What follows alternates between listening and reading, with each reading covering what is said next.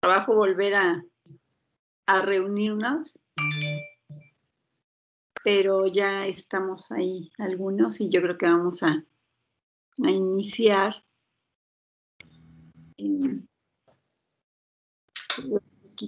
Wendy todavía no se conecta. Un segundo, alguien está pidiendo entrar. Ya.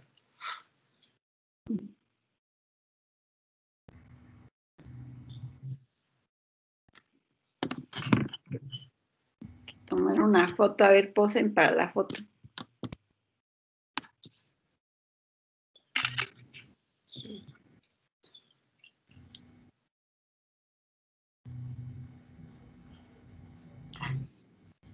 Quedamos bien.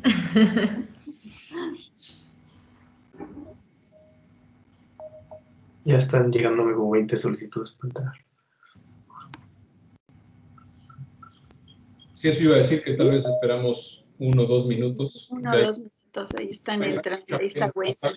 Hasta, Wendy queriendo entrar. Wendy. Hola, hola, buenas tardes. Hola, Buenas tardes. No te veo. Ah, ya te veo.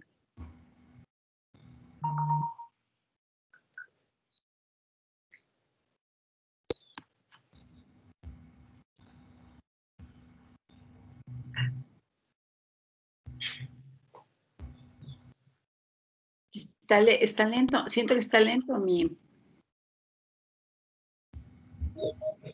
También el mío y, y ha estado hoy como que muy raro, fallando muchas cosas.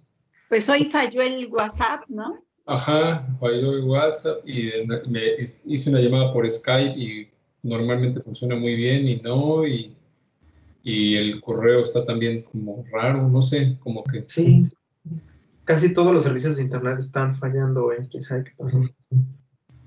Sí, a mí me pasó lo mismo en, por ejemplo, en la plataforma Classroom y con Meet me sacó tres veces pero es, yo creo que es el, ya el Internet, no sé, en general.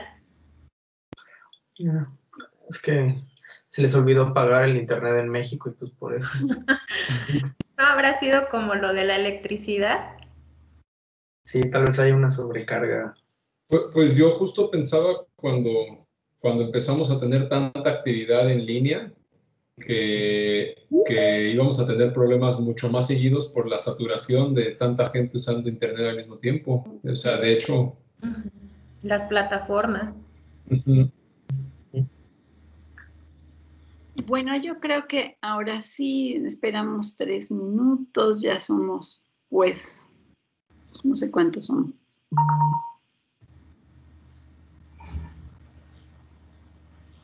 No sé si ¿Ustedes ven la misma escena que yo, que estamos como en un auditorio? No. No, solo lo ves tú. Mm, les quería enseñar. El auditorio ya no, ya no se ve lo morado, ¿no?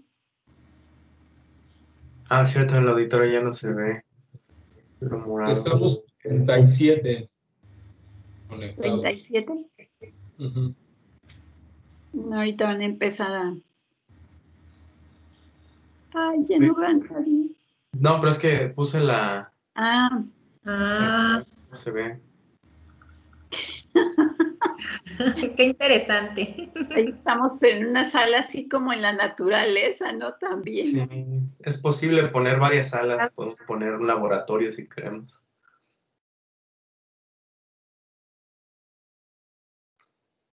Ah, qué interesante. Ya me gustó mi, digo, Teams. Podemos poner una sala de juntas como si estuviéramos en un café y varias mesas alrededor de una, así como, como si fuera una, una oficina redonda y varias mesas alrededor. Ya tiene funciones. Pues para cuando hagas una reunión de consejo, Carlos, así para que ya no se vean como si. Ahorita por la hora tiene que ser en un café ya para este. En un cafecito. Para tener el cafecito. Bueno, yo creo que, yo creo que ya eh, son las 5 y 5, yo creo que podemos ya este, comenzar y, Jacob, si tú les puedes dar, yo también les puedo dar a admitir a los que estén agregando. Este, pues buenas tardes, Carlos, te voy a pedir si nos quieres dar una introducción y comenzamos con la presentación. Pues muy brevemente porque este, es viernes, son las 5 y lo más importante de hoy lo va a decir Elisa. Este, solamente recordar que este es un evento muy importante porque además de que es egresada de la facultad, es alguien que estuvo hace no tantos años, y digo no tantos años porque los que llegaron temprano pudieron escuchar que es cuando yo estaba estudiando también, entonces por eso me gusta decir que no tantos años, pero Elisa ya se formó en el MEIF, en el modelo educativo integral y flexible, le tocó llevar las mismas experiencias educativas que están llevando ustedes, le tocó llevar módulo, fue alumna de la doctora Doran, entonces es como que una muestra, una inspiración de hacia dónde pueden dirigirse muchos de ustedes. Todos los que lo deseen pueden llegar a ser y conocer cosas, igual como Elisa ahorita nos va a presentar el tema que, desarrolló sobre todo en su posgrado. Eh, y bueno, además, Elisa eh, pues es una agrónoma muy destacada y siempre se había dicho que la agronomía era una carrera muy de hombres. Eso poco a poco han ido cambiando los números de la proporción de hombres y, mujeres, pero la verdad es que no importa la proporción, sino lo que importa es que el número de estudiantes, hombres, mujeres, lo que haya, se sienta bien, se sienta a gusto, aprenda, disfrute su carrera, se esfuerce. Y eso es un poco lo que pasó este, en el caso de Elisa. Elisa fue consejera alumna, muy, muy activa en muchas cosas. Entonces es como que un muy buen ejemplo eh, para que hoy la, la, escuchemos. Eh, es marzo, que es el mes en el que se conmemora eh, todos los, derechos conseguidos por las mujeres y también todas las cosas que aún no, no se consiguen. Entonces, en ese sentido es que eh, la doctora Dora junto con Wendy, Yajaira, Jacob, eh, tuvieron la buena idea de organizar este evento donde invitan a egresadas mujeres destacadas eh, y por eso es que estamos aquí todos hoy en esta segunda, segunda sesión, ya tuvimos la primera el viernes pasado. Entonces, pues, gracias de mi parte yo ya sería, sería todo para que empecemos con la presentación. Gracias. Les comparto la Universidad de Filadelfia. Ahorita. Siete años formando líderes con espíritu de servicio. Eh, esta, esta historia no hubiera sido posible. Creo que Iván tienen la ni siquiera ahorita lo apago. Pues, ya. Bueno, y es la segunda vez que nos pasa algo así.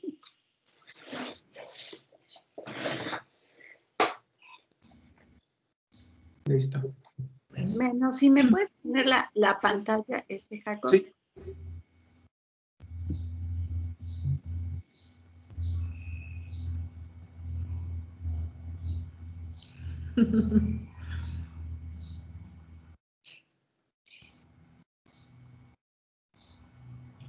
No sé si ya se ve. Sí, se ve. Bueno, pues nada más eh, quisiera eh, mostrarles a Elisa cuando fue estudiante, ahí la está señalando una manita. Eh, ahí está trabajando en campo, como muchos de ustedes este, pues lo han hecho cuando están en condiciones normales. Quiero que vean a Elisa en ese momento. ¿Me pasas la otra? Después está en su evento de módulos justamente, y está presentando su cartel ustedes lo harán. La siguiente. Y bueno, curiosamente para este grupo no soy una maestra taquillera, así que nada más tenía cuatro alumnos en ese módulo, en esa ocasión, y casualmente está dando el módulo 4 y llegaron cuatro chicos a mi módulo que no tenían trabajo experiencia recepcional y no sé cómo le hice, pero eh, salieron en tiempo y forma. Entonces, Elisa se fue a hacer una estancia al Colegio de Postgraduados a hacer su tesis. Hugo se fue a la Universidad de Georgia y la otra chica se fue a hacer una estancia a Texcoco a unos invernaderos comerciales. Así que solo me quedé con un alumno, pero al final todos pudieron eh, tener su examen de experiencia recepcional el mismo día, lo cual este, es, es un muy grato recuerdo. La otra. Y bueno, pues finalmente llegó el día de la fiesta de graduación. Y ahí espero que ustedes se vean reflejados en, unos, en un par de años, cómo se van a ver y cómo se verán aún después. Y pues quiero agradecer a Elisa, que todos sabemos que fue una estudiante eh, modelo, que además fue, como ya dijo el doctor Carlos, muy activa, hacía mil cosas. Y eh, llegó un momento en el que tuvo que, que, sentar cabeza y decir que ya vas a salir, Elisa, ahora qué vas a hacer, ¿no? Y entonces fue cuando se decidió que tendría que ir a, al colegio, donde siguió una, una carrera, hizo su, su, ahí su tesis de licenciatura o su trabajo de experiencia recepcional, después su maestría y su doctorado. Y sí, ya no voy a hablar más, ahora le toca eh, platicarnos a Elisa su trabajo que ha desarrollado y su experiencia actual, ¿no? Entonces, muchas gracias, Elisa, por aceptar esta invitación y vamos a dar paso a que nos des tu plática. Pues, primero que nada, estoy muy contenta y agradecida por la invitación. De verdad, soy una alumna egresada muy orgullosa de mi alma mater, muy orgullosa de haber estudiado la, carrera de agronomía. Eh, mi vocación empezó desde que era joven, porque durante mis estudios, desde primaria, secundaria y prepa, mis padres siempre me acercaron al campo. No era la actividad principal de mis padres, pero ellos tuvieron la certeza de acercarme a él. Entonces, créanme que de las gratas experiencias que adquirí, sobre todo una que, que es eh, la sencillez y el acercamiento con las personas, es estar en contacto con el campo. Nos da un panorama distinto. Yo espero que todos ustedes eh, también hayan elegido por vocación esta carrera, porque eso siempre nos hace crecer bastante. Mi otra vocación siempre fue también la química, la bioquímica, siempre me llamó la atención. Entonces, cuando tuve la oportunidad de conjugar mi vocación de amor por el campo y mi vocación de química fue cuando hice los posgrados. Y esas oportunidades siempre están abiertas, no necesariamente en un posgrado, sino también en una especialidad, en algún diplomado o en el mismo trabajo que escojan ustedes después. Pero lo único que sí es como, eh, necesitan tener como requisito es una mente abierta y siempre tener un pensamiento crítico. O sea, siempre dudar de lo que se nos dice, siempre aportar ante lo que se nos dice y siempre proponer y cambiar las cosas. De eso se trata justamente mi conferencia y es lo que les voy a, presentar.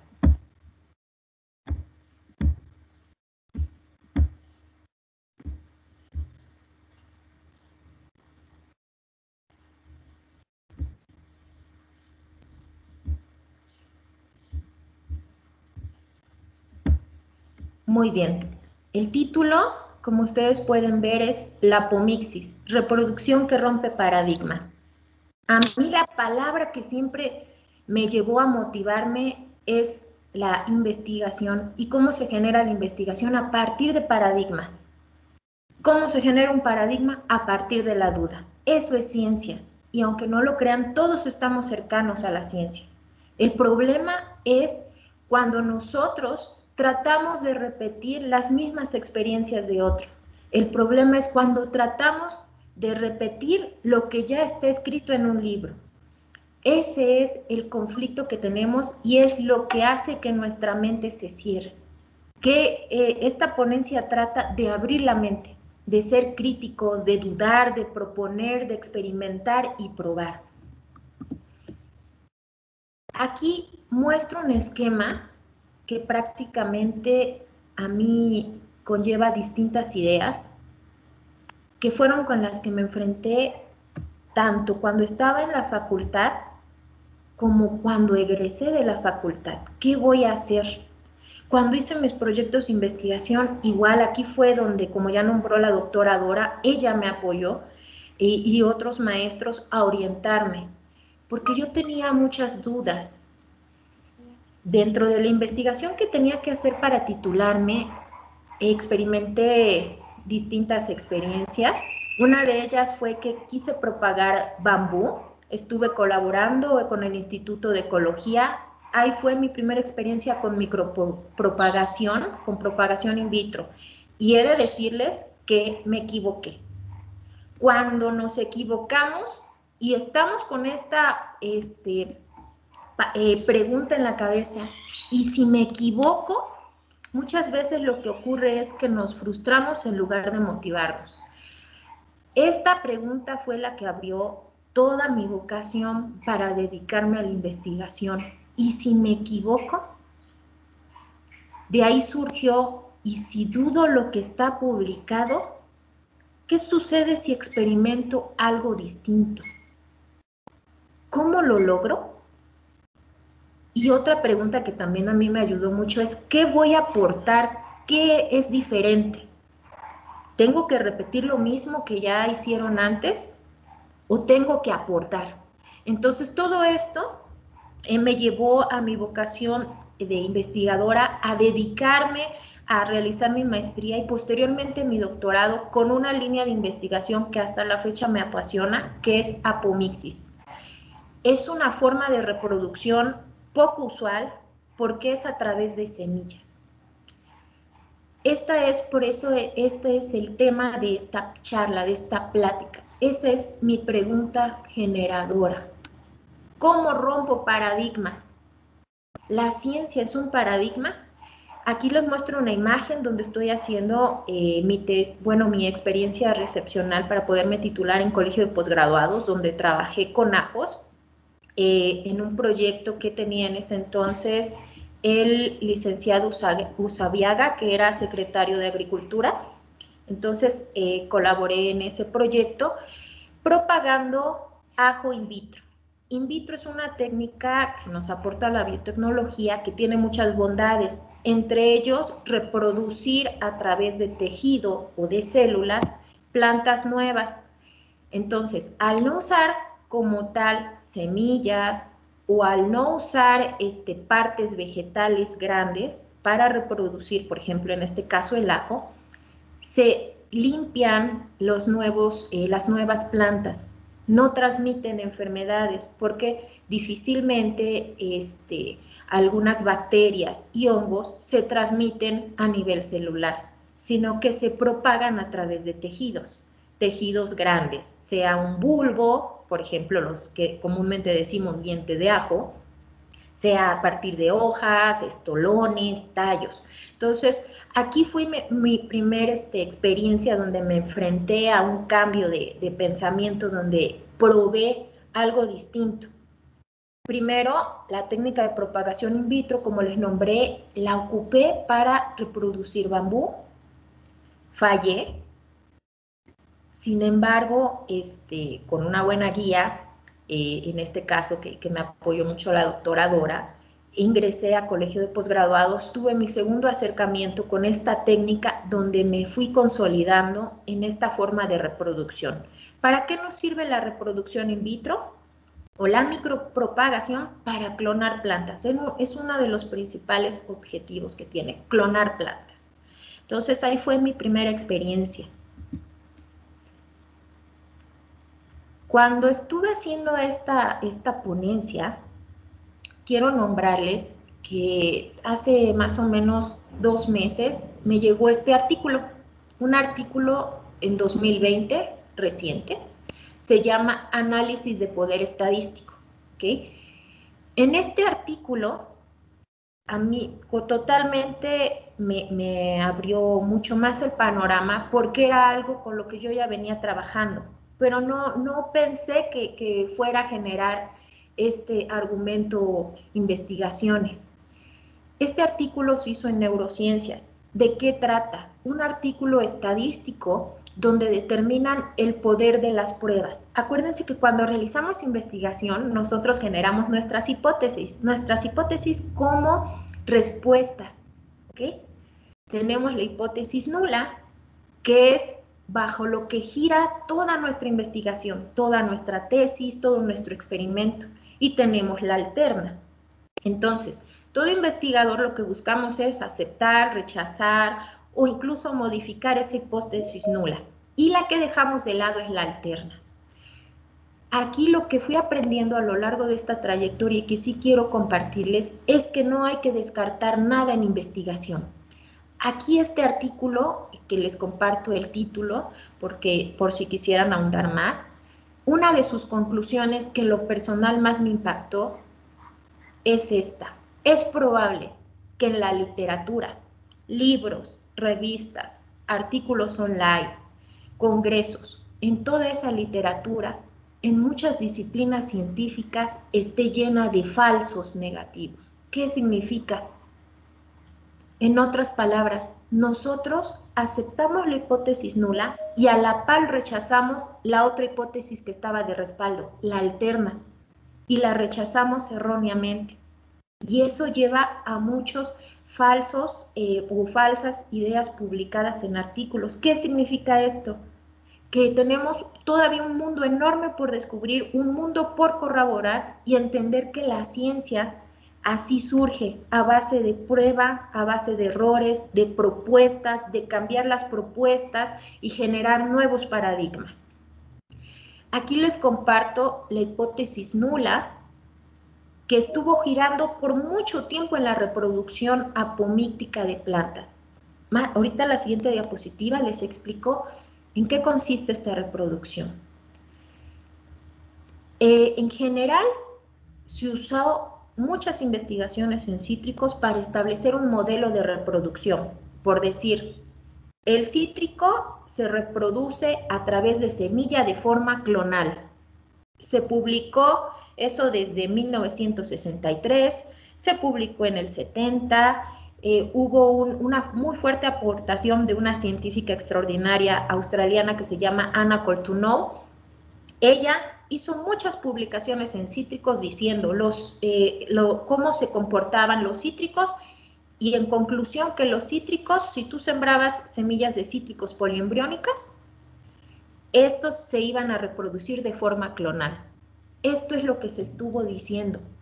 Y como es lo que se publicó año tras año, en décadas, entonces, si yo investigué mango, que también se propaga de esta forma, repito lo de cítricos.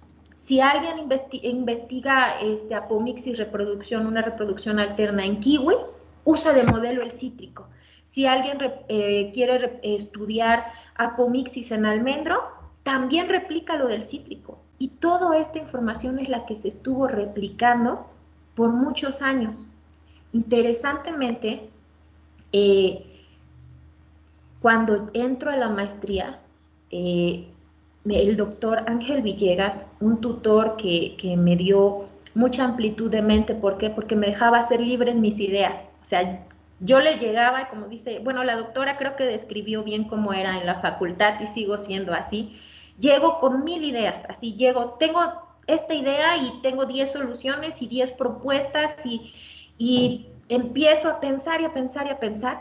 Y eso me pasaba mucho en la maestría, todavía en el doctorado. Y el doctor Ángel Villegas lo que me ayudó es a enfocarme. Elisa, enfócate en la idea. ¿Cuál fue la idea? Vamos a trabajar sobre esta hipótesis nula para que demostremos que la hipótesis alterna sí es correcta. Así de simple. Entonces, en cítricos y en mango, que son las dos especies que estudié, lo que hicimos fue demostrar, por todos los indicios que hicimos de la investigación, demostrar que no todas las plantas se reproducían eh, con apomixis en el modelo de cítricos. Ah, entonces ya cambia. ¿Qué quiere decir? A esto voy, que tenemos que tener un pensamiento eh, crítico, donde no todo se debe de estar repitiendo, donde no hay modelos establecidos, donde podemos llegar y proponer muchas ideas y créanme, no solo una, sino dos, tres, cuatro, cinco ideas que propongamos, van a poder generar ciencia, van a poder generar aportación. Ciencia no nada más es estar en el laboratorio, generar en el laboratorio, generar en el aula, generar eh, en un análisis estadístico de base de datos. Ciencia también es aplicarlo en el campo, de lo que aprendemos, de las ideas que tenemos para solucionar, pero ¿de qué se trata? De que no repitamos lo mismo. Sí, nos sirve para tener bases y sustento, pero aquí se trata de lograr aportar más. Eso trató mi investigación tanto de maestría y de doctorado. ¿Qué es la apomixis? Eh, yo me imagino que algunos de ustedes eh, ya han visto formas de reproducción de plantas. Esta apomixis prácticamente se define como la producción de semillas, pero asexualmente.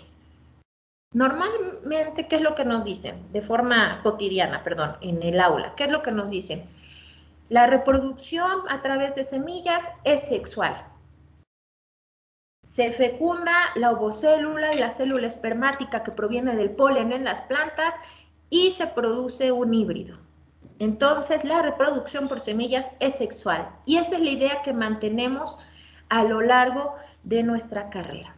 Sin embargo, esta, este, esta reproducción apomíctica realmente genera todavía muchos paradigmas porque no está muy bien estudiada, pero sí es muy codiciada porque incluso en el CIMET se está haciendo una investigación donde se quiere incluir genes de apomixis en maíz.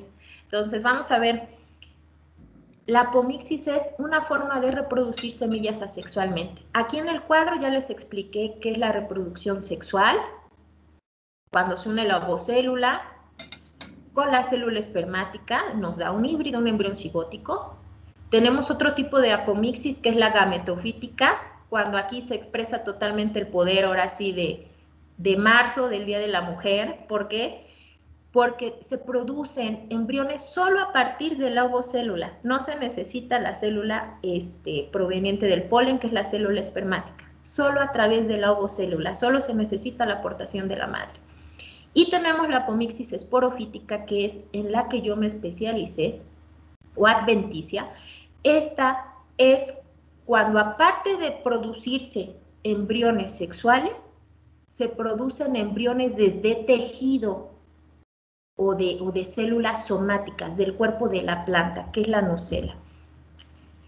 Cuando tenemos esa peculiaridad, ¿qué creen? De una semilla no se forma una semilla, sino se forman dos, tres, cuatro, cinco. En mango llegamos a contar hasta 12 semillas en lo que ustedes puedan observar como una semilla común. Ustedes piensan que siembran en estos mangos amarillos, eh, Manila o Ataulfo, siembran una sola semilla y no, siembran muchas más.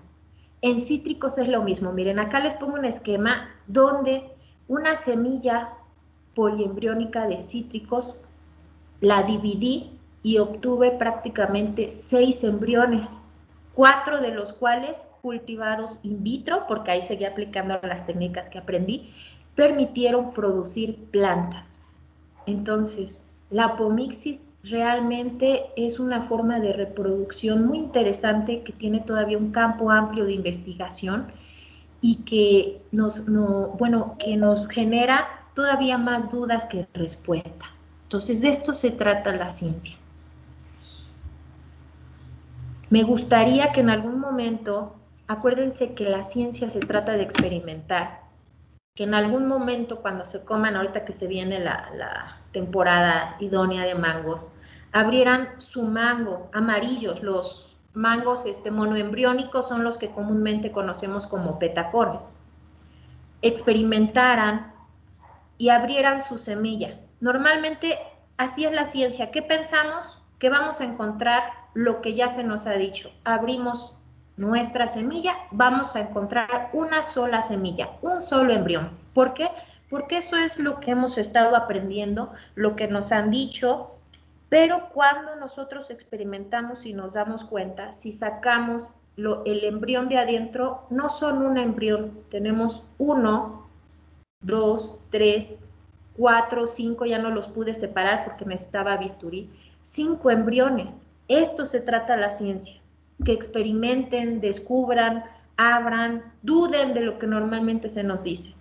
Pensamos que había una sola posibilidad de producir plantas con esta semilla de mango y no, realmente tuvimos o tenemos cinco posibilidades de producir semillas. Eh, bueno, tenemos cinco semillas de mango, por decirlo así, cinco embriones y tenemos la posibilidad de producir cinco plantas. Ahora bien, ¿por qué es importante el estudio de todas estas semillitas eh, o embriones que obtenemos en sí de una semilla. Miren, interesantemente, las plantas que se obtienen de la nucela, aquí tenemos la imagen de un ovario, eh, un ovario artrótoco. La nucela es este tejido nutritivo, ni siquiera tiene la función de ser reproductiva. Es ese tejido nutritivo que estimula el embrión para su crecimiento. ¿Y qué creen? Todo es en la nucela, todo el ovario, los integumentos, los tegumentos tienen información de la planta madre. Aquí lo importante es que cuando se producen semillas poliembriónicas, sí hay una planta cigótica, producto de la unión de la ovocélula que está marcada en medio en color verde claro, con la célula espermática procedente del polen. Y esto nos da y la importancia de estas semillas es que en una sola semilla encontramos diversos embriones, embriones que nos dan la diversidad genética al ser híbridos y nos producen pues plantas que no son clones de la madre. Y tenemos las otros, los otros embriones que se forman de ese tejido amarillo que ven en el ovario, que es la nucela.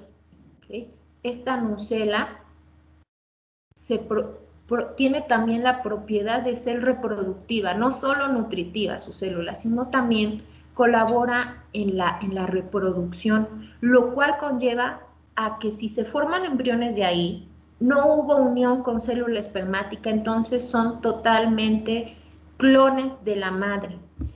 Entonces, esta es otra forma de obtener plantas uniformes que son de interés para el campo para la producción agrícola, porque se buscan muchas veces cultivos homogéneos, permiten mantener las líneas parentales élites y a la par evitan la transmisión de algunas enfermedades.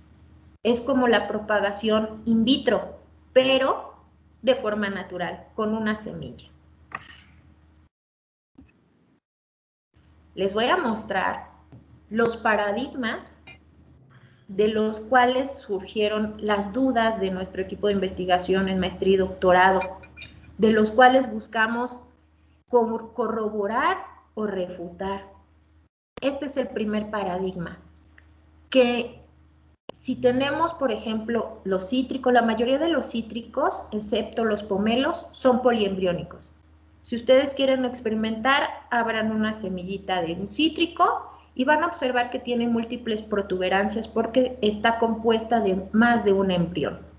Entonces, el paradigma que prevalecía es que todos los genotipos o todos esos frutales con alto porcentaje de semillas poliembriónicas, o sea, eh, por ejemplo, si nosotros colectamos 100 semillas de cítricos, en un cítrico eh, que se reproduce principalmente por apomixis vamos a encontrar más de 80% de semillas poliembriónicas, quiere decir que cada semillita tenga más de un embrión.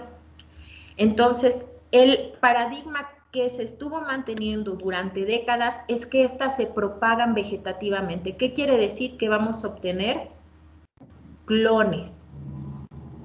Esa era la idea que prevalecía. Si tú tienes una planta, un mango poliembriónico, un cítrico poliembriónico, siémbralo porque te va a dar clones, te va a dar plantas igual a la madre.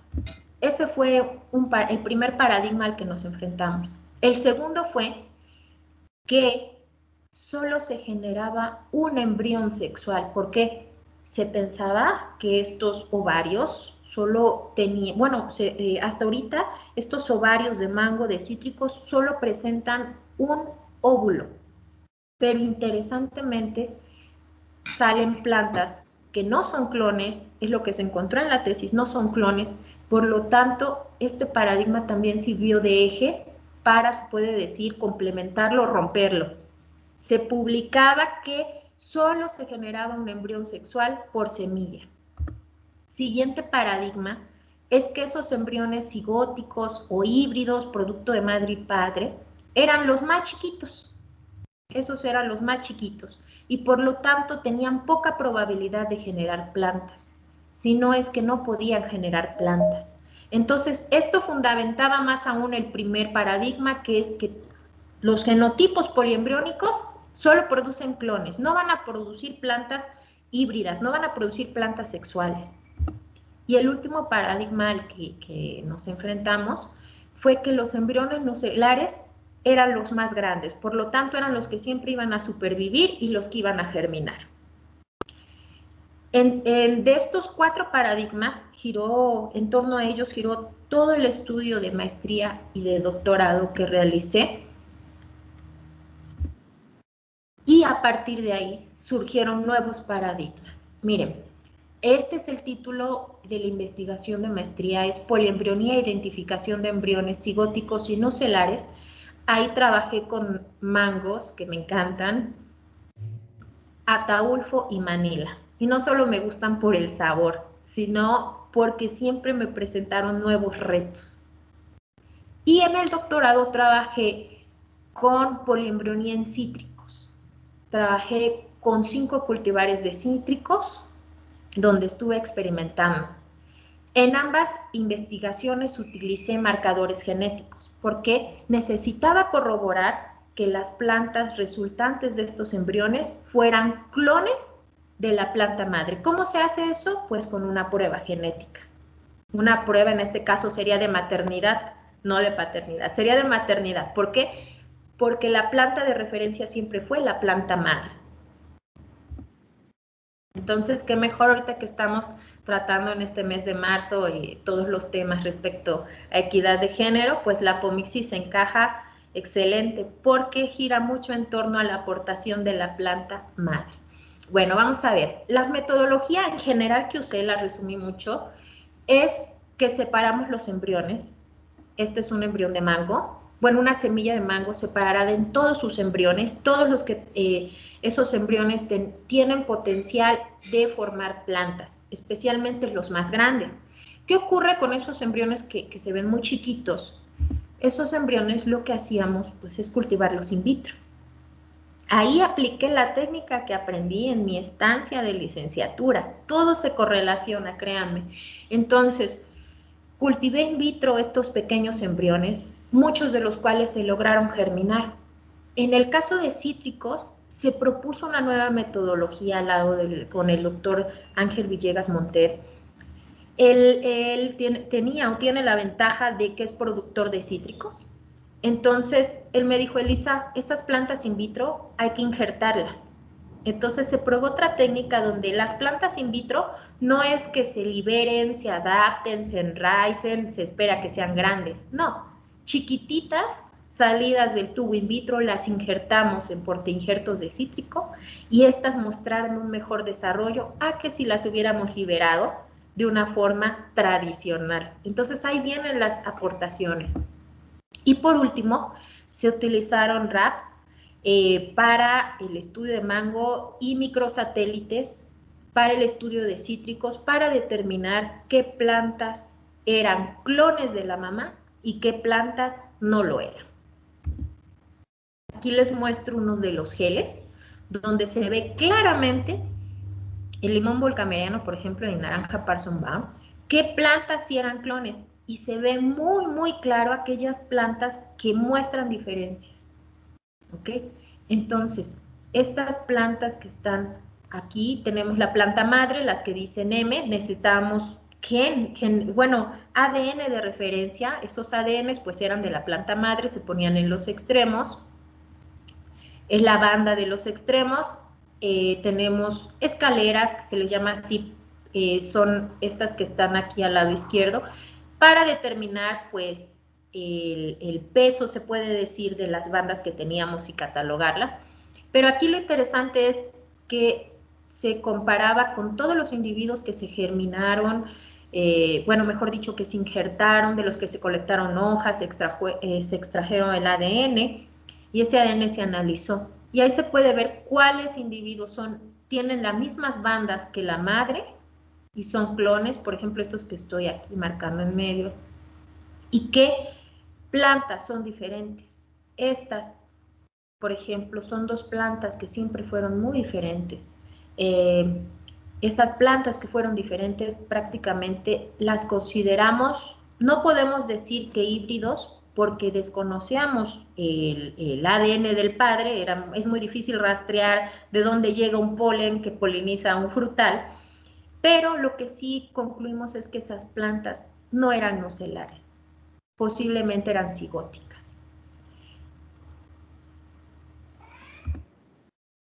Es así como generamos los nuevos paradigmas.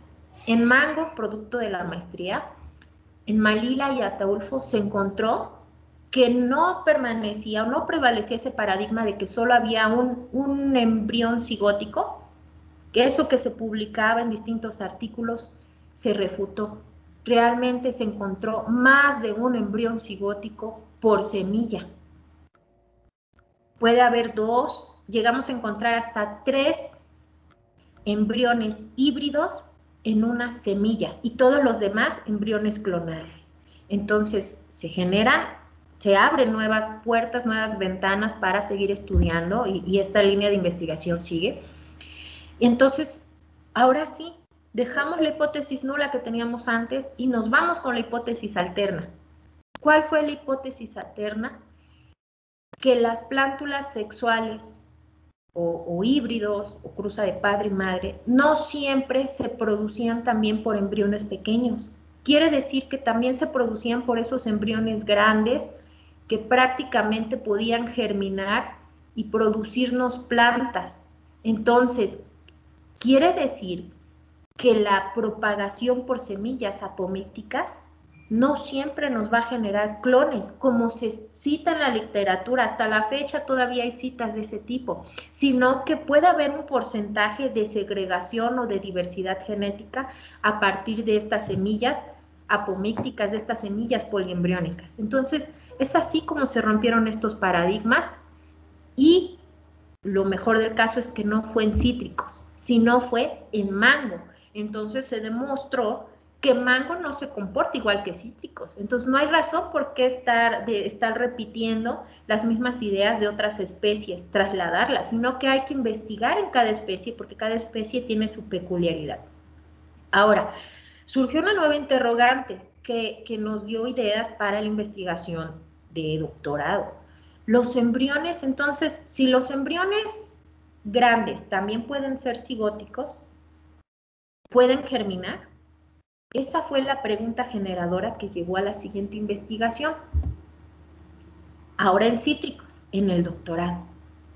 Y lo interesante es que después de hacer estos estudios genéticos que le comento de propagación, cultivo in vitro, injerto, de los cinco genotipos estudiados de, cítricos, que eran muy diversos porque iba desde limón, mandarino, citrumelo, naranja y teníamos otro injerto.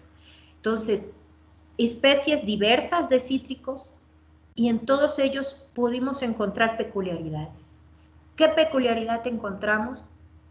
Que estas semillas de cítricos no generan clones. Se rompe de nuevo el paradigma, no generan clones.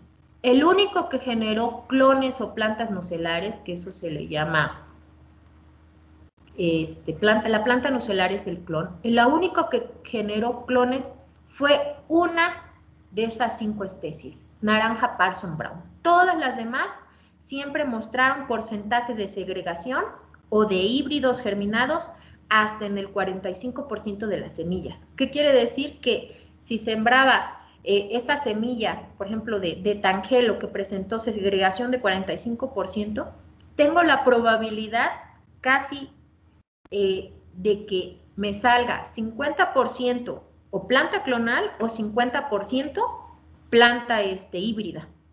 Entonces es, una, es como lanzar una moneda al aire, ¿no? Probabilidad de 50% en cada caso.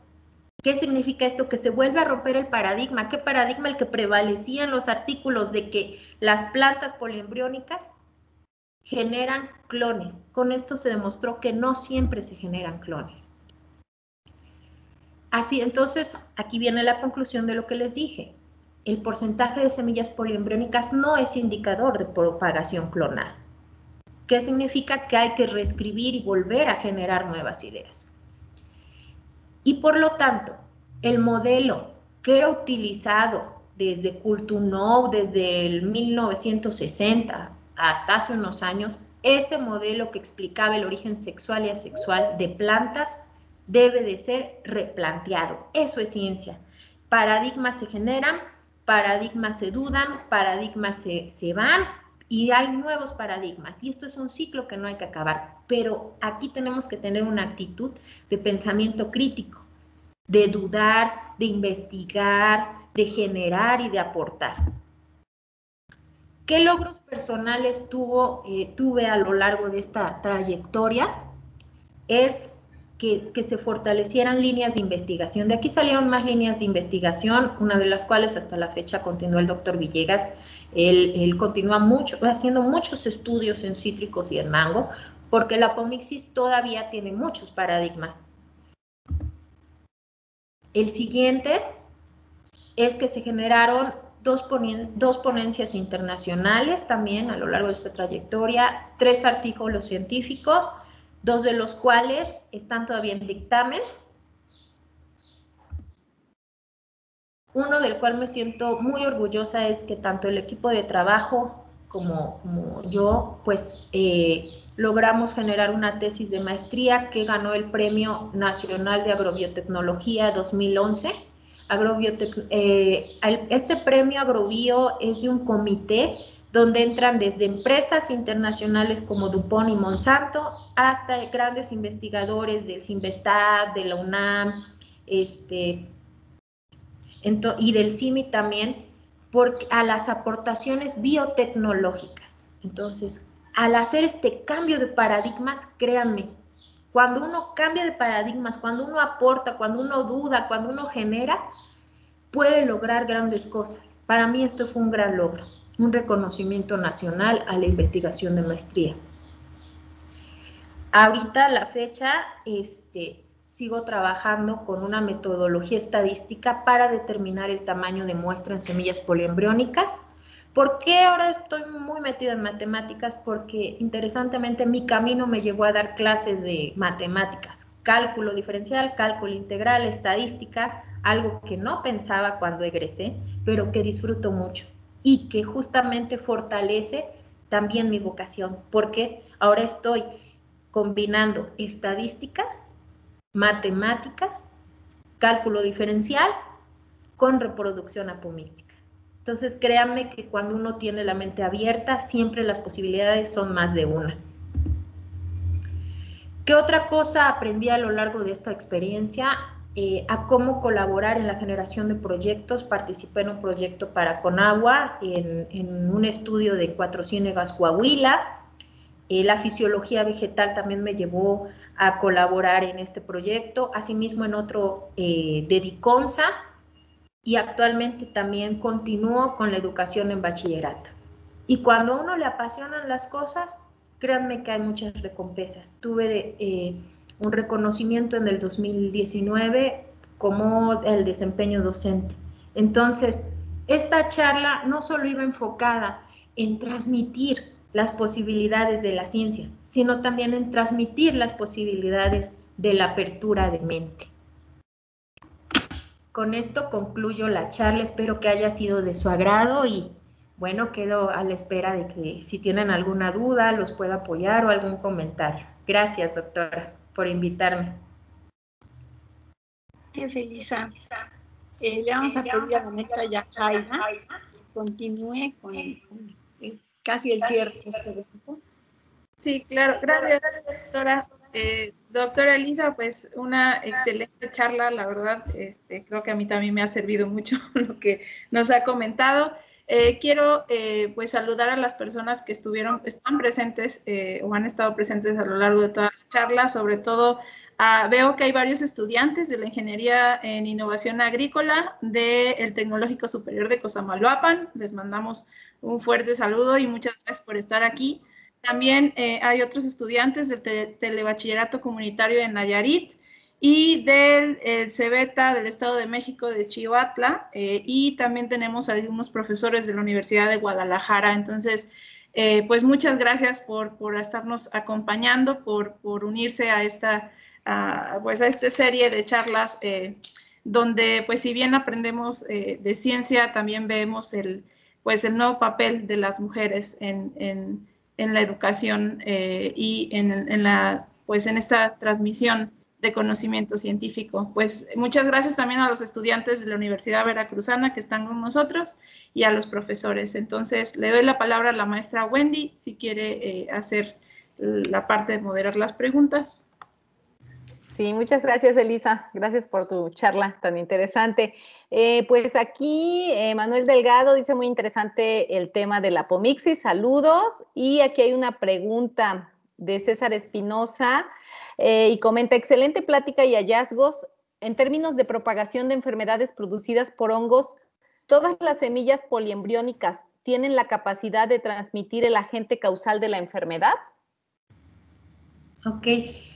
Realmente las semillas poliembriónicas, por ejemplo, si es la semilla como tal está enferma, es posible que si no se desinfesta bien, si sea este, contaminación externa, entonces sí propague la enfermedad. En general, las, a través de semillas son pocas las enfermedades que se propagan, salvo que, bueno, ya esté muy enferma la semilla. Por ejemplo, todas estas semillas, por ejemplo, la de mango, tiene una protección eh, que es casi hermética, entonces impide que distintos patógenos ingresen, ¿ok? Además hay una cubierta seminal. Por lo tanto, la propagación, por ejemplo, de forma clonal es una buena alternativa a través de la semilla que reduce el contagio de enfermedades. Pero debo de aclarar, hay otras enfermedades, sobre todo, por ejemplo, virales, o bacterianas que sí se transmiten por semillas. Son raras y depende de la especie.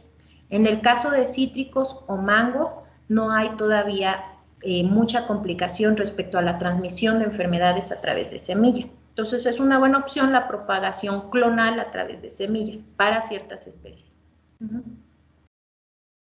Ok, gracias. Pues no sé si alguien más tenga alguna otra pregunta que quiera abrir su micrófono y, hacerle una pregunta de manera directa a, Elisa.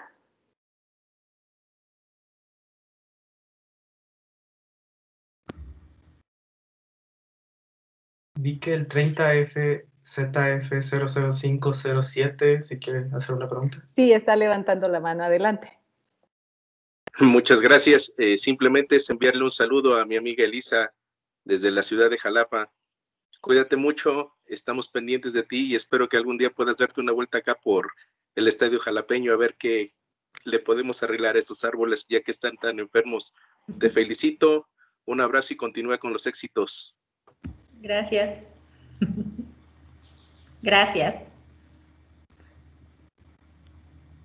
Bueno, no sé si alguien más tiene algún otro comentario, alguna eh, adelante, eh, primero levantó la mano, me parece que Jeremías y después este, Diana Edith. Hola, buenas tardes Elisa, ¿cómo estás? Soy Jeremías, te saludos de Jalisco. Se me hace muy interesante tu trabajo, sobre todo yo, tú sabes que yo estoy trabajando con zarzamoras, ah, zarzamoras silvestres para mejoramiento genético. Las zarzamoras presentan una poliploidía desde 2N hasta 18N. Sin embargo, este, yo me he dado cuenta que, bueno, siempre nos han dicho de que en el caso de las triploides, pues no, no tienen este viabilidad. Sin embargo, también hemos encontrado de que em, hay ciertas zarzamoras triploides que, o sea, sí hemos encontrado este, germinación y todo, y ahora entiendo de que, ahora entiendo de que muchas de ellas pueden ser, bueno, también se mencionan que son poliembriónicas. Entonces ahora entiendo que algunas pueden ser nocelares, otras son cigóticas, por eso este, hay plantas que se desarrollan. Y la verdad, pues este, mm, me ha servido mucho tu plática. Em, he leído mucho tus trabajos, ¿por qué? Porque, como te comento, en zarzamoras nos encontramos, en mejoramiento genético tenemos mm, pues una, mm, son muy este, diversas, por, como te digo, son poliploides, son dicogamias, son, ah, son este, um, apomícticas y todo, y la verdad, pues este, ah, me has despejado muchas dudas. Gracias por todo. No, al contrario, qué bueno que, sigas este, investigando, Jeremia, siempre has aportado mucho. Eh, eh, tengo muy presente también el caso de las zarzamoras y, me da gusto que, esta aportación también haya llegado hasta el estadio jalapeño y hasta donde está mi buen amigo este, Jeremías también. Gracias. Gracias. Adelante, ¿quién, eh, la, la otra persona que había levantado la mano. Ah, soy yo. Tengo una duda respecto a cómo sabe cómo cortar la semilla, o sea, si existe pues algún este alguna guía o cómo cortar la semilla, porque supongo que en cítricos y en mango debe ser diferente o es igual en todas. Este, no, no es igual. En el caso de mango, este, la semilla, mira, tienen, eh, tiene uno que observar. Eh, hay unas líneas que empiezan a separarse, ven las protuberancias. Es ahí donde uno mete el bisturí y vas haciendo palanca poco a poco. En mango es difícil separarlas, es más sencillo en cítricos. Entonces es la experiencia que te puedo transmitir. En almendro también es más simple. Ahí, eh, en el caso de mango es complejo y normalmente lo que hacíamos es ubicar a los embriones, ir separándolos con cuidado en el bisturí, los más pequeños con ayuda del microscopio y en algunos casos disecar cortar con bisturí sin dañar la plúmula eh, para que pueda posteriormente a partir de ahí germinar la planta. Pero es cuestión de observar. Aquí entra mucho la observación. Gracias. Hay otra pregunta de Manuel Delgado. Dice, doctora Elisa, en el caso, en el cacao, ¿se puede aplicar el apomixis?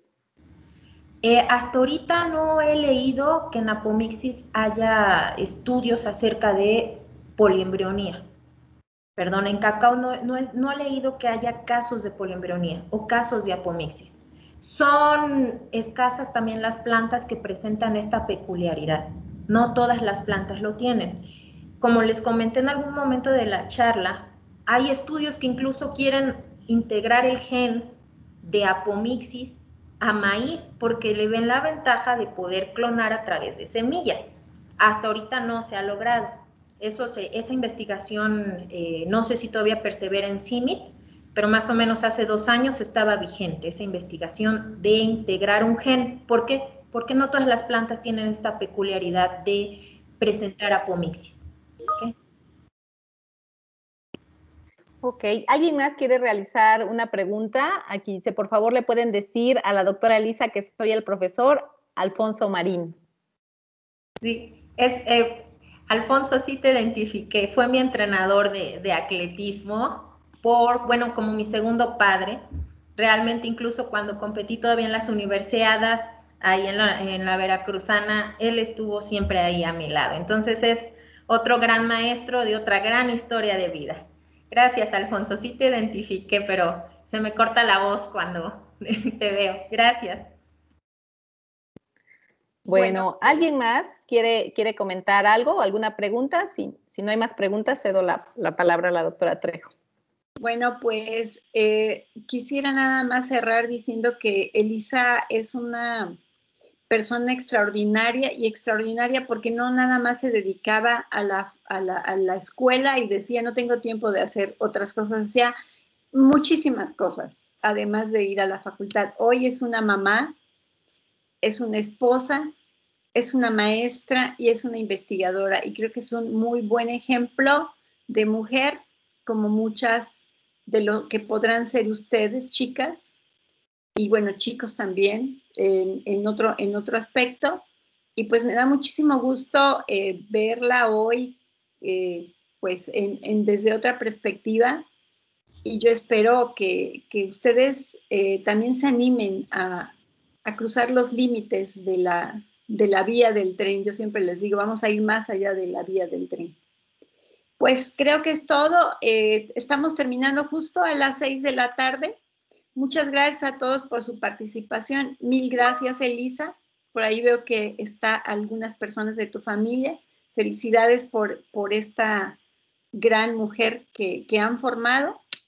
Y pues nos veremos dentro de una semana nuevamente. Gracias a, Carlos, a nuestro director, eh, a César también del CIMA, que lo vi que por ahí entró y ya no sé si alguien más que se me escape de los maestros, agradecer aparte del cuerpo académico que está organizando este evento. Pues buena tarde, buen fin de semana. Muchas gracias, que tengan buena tarde. Gracias. Saludos.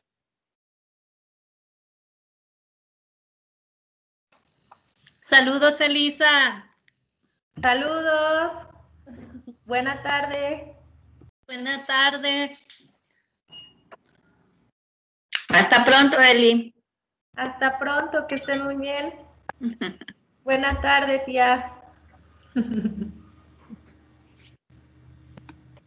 Qué gusto, Alfonso, gracias. A la distancia, amiga, y aquí te seguiremos. Cuídate mucho.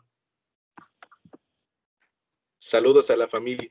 Gracias, igualmente. Saludos desde Nayarit, Elisa. Saludos, Angélica. Un abrazo. Igualmente.